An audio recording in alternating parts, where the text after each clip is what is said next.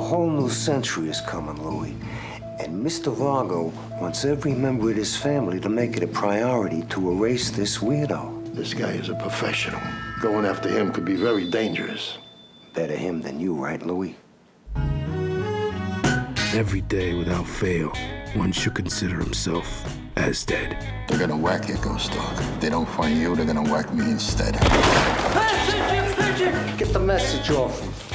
If a samurai's head were to be suddenly cut off, he should still be able to perform one more action with certainty. What is that supposed to mean? It's poetry. The poetry of war.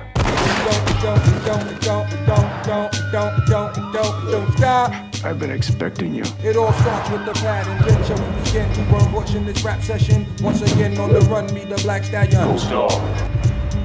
Can I hear it? Nigga, and bang your head, punk. Ah, and it don't, it don't, it don't, it don't, it don't, it don't, it don't, it don't, it don't, it don't stop.